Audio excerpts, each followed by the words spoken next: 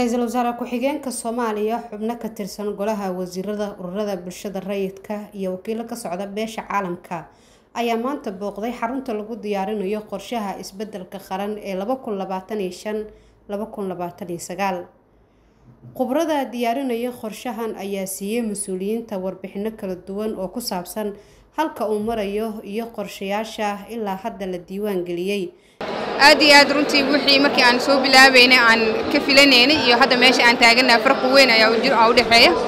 Qof walba oo imaata maantana ee aad u muujinaysa si gaar ah beeraha iyo xoolaha laabkiisa oo aan runtii qayb ka ahay dadka matalaayo waxaan ka shaqaynay mashaariic waaweyn oo lafdhabar u ah sektarka beeraha iyo xoolaha. Ay ugu horeeyaan wax soo saarka miraha sidoo kaleeto dalagyada ee lagama maarmaanka ah ee hadda dibaddana loogu soo dhoofiyo oo aan rabno inaan runtii maxay ahaydeen la yareeyo oo dadkeena beeraleydeena ee runtii ay soo saaraan. Halkaas sidoo kale marka aan ka hadlaynay oo aan ka shaqaynayna qorshaha qoristiisa arrimaha federaalka waxaan aad uga shaqaynay si federal systemskeena ay u xoogaystaan oo ay u shaqeeyaan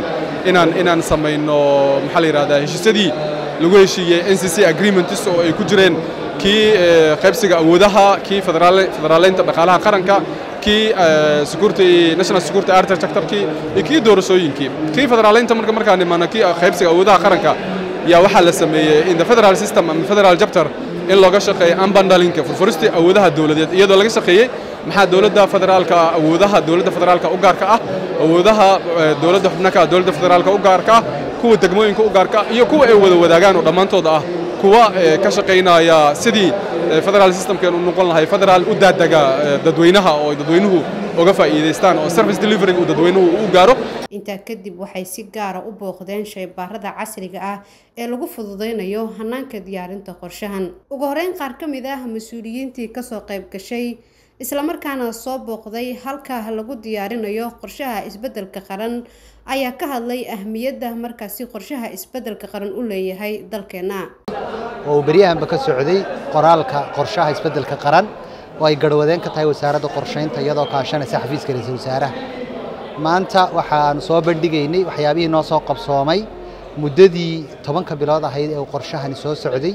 taasoo aanu la soo tashanay dowlad goboleedyada wasaaradaha federaalka hay'adaha madaxa bannaan iyo maxaa la dhahda deeqbixiyaasha soomaaliya. Maanta oo maanta iyo shalay baa waxaa noo socday waxaan u bixinay gallery work oo ah inaanu soo saarno wax alyaala wixii aanu shaqo qabannay taasoo aanu isugu yeedhnay deeqbixiyayaashii iyo hay'adihii un-ta iyo xukuumadda golihii wasiirada iyo agaasimayaasha guud. Kuwaasi oo aanu u soo bandhignay waxaanu soo qabannay kana yacni sugaynay inay noo sameeyaan ku daraan wixii ay u arkaan inaanu ka tagnay ama nagu taageeraan waxyaabihii wanaagsan aanu soo qabannay. La qabtay waxaa ugu waaweyn laababka oo ilaa siddeed sagaal laab ah oo dhammaan shaqooyinkooda la soo bandhigay shaqooyinkii laabka oo loo sameeyey true northka oo ay ugu muhiimsan tahay economic transformationka waxaa loo yaqaano. Economic transformationka waxaa la hiigsanayaa g d p growth shanta sano soo socota oo ilaa boqolkiiba siddeed ah waxaa kaloo la hiigsanayaa in la gaarsiiyo g d p-ga toban bilyan laga qaado. Hadda meesha uu yahay oo la gaarsiiyo ilaa laba iyo labaatan bilyan labaatan ama laba iyo labaatan bilyan doolar la gaarsiiyo. Sidoo kale waxaa la rabaa in la gaarsiiyo income per capitada in la gaarsiiyo ilaa kun dollar oo runtii meeshaas ay shacabka soomaaliyeed xaaladooda dhaqaale iyo qualitiga nolosha ay kor u qaadi doonto. Soo booqdo meesha uu ka socdo qorshaha isbeddelka qaranka ee shanta sano ee soo socota ee laba kun labaatan iyo shan ilaa laba kun labaatan iyo sagaal. Qorshuhu waa qayb ka mid a nolosha oo si wanaagsan loo maareeyey soomaalidu waxay tidhaahdaa aqoon xumo abaar ka daran aqooshuna waa qorshaha. Marka haddii aan waxba qorshaysan waa ay ka sii xun tahay in abaar ama duufaanno ama mashaakil ay kugu dhacaan way ka sii xun tahay waxaa aad ii farxad geliyey sida muggale la iskugu dayey si qodan in loo ogaado baahiyaheenna iyo qaybaha kala duwan ee bulshadu ay leedahay. Ama ha noqoto arrimaha la xidhiidha siyaasadda loo dhan yahay sarraynta sharciga kobaca dhaqaalaha arrimaha bulshada iyo qaybaha kale ee baahida bulshadeennu ay ku salaysan tahay dhanka kale wasiirka wasaaradda qorsheynta iyo maalgashiga horumarinta dhaqaalaha xukuumadda federaalk soomaaliya mudane xildhibaan maxamuud cabdiraxmaan sheekh faarax beenabeele ayaa sheegay in shanta sano ee soo socota ay markaasi fursad shaqo heli doonaan lix kun oo qof. Ilaa iyo bishan dabayaaqadeedana way joogi doonaan. Qorshe dowladdan ama xukuumadda dan qaran waxay soo saari doontaa qorshe ka duwan qorshayaashii dalka laga samayn jiray. Qorshe casri ah la jaanqaadi doono duruufaha adduunyada dhaqaala dhisidda iyo dowlad dhisidda iyo waxoo dhan annagoo qiimaynayna iyo middeena innaga goonida noo khaaska ah. Guulo waaweyn ayaa halkaa ka soo bixi doona mashaariic waaweyn oo dowladnimada soomaaliya iyo horumarka dhaqaalaha wax badan ku darayso ayaa inta ka soo bixi doona. Maalinta qorshahan uu dhammaan doono waxaan rabnaa mashaariicda dalka aan ka samayno ilaa iyo lix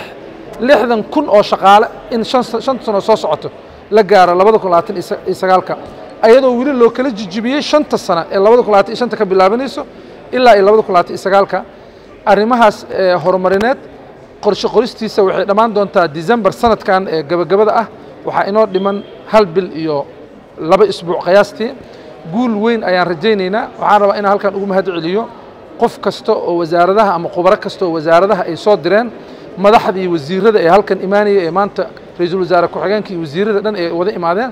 agaasimayaashii guud xogayaashii joogtada la taliyaasha wasiirada ee aqoonta u lahoo dee bilihii la soo dhaafiyo dhan safaradii inaan ka joojinnay shaqadooda gudanaya si guusha qorshaha ay qayb ugu noqdaan. Ugu dambeyntii ra'iisul wasaare ku-xigeenka labaad cabdisalaan cabdi cali oo ka qayb galay shirka ayaa markaasi ammaanay dadaalada socda ee lagu diyaarinayo qorshaha isbeddelka qaranka. Waxaan soo booqday waaxyo kala gedisan waxaan aragnay intii aan ku jirnay kormeerka halkan aan ku imid in uu mashruucan gaarsiin doono soomaaliya shanta sano ay soo socoto in ay shaqo abuur badan yimaadaan oo ay halkan ay fursad weyn u noqotay private sectorka ganacsatada fursad ay ku soo bandhigaan fursadihii ay ummadda ugu adeegi lahaayeen hadday noqoto dhanka xoolaha hadday noqoto beeraha hadday noqoto kalluumaysiga hadday noqoto tamarta enerjiga hadday noqoto caafimaadka hadday noqoto infrastructureka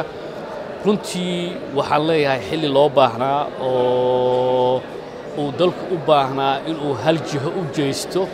oo uu horumar gaarsiiyo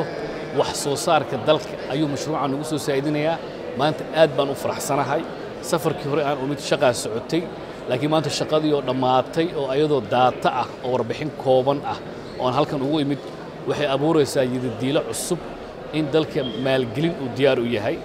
in dalka horumar uu diyaar u yahay in shaqo la'aanta baahday ay soo kordhin doonto shaqo abuuris ka badan konton iyo lix kun oo shaqo ah shanta sano ay soo socoto. Waxaa sabab u ahaa mashruuca maanta halkan aan u joogno n t b runtii waxay u baahan tahay inaan